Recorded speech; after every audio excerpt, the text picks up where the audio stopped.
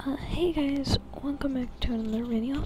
This one is just a quick announcement about the video that I did.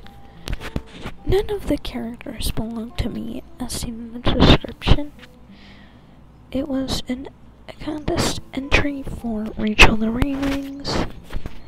I've never won a contest or entered one, so that's the reason I entered my first contest. And uh, I hope you all enjoy it if you have not seen it yet.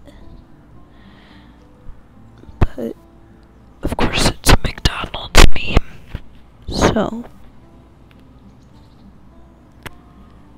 I'm gonna go now.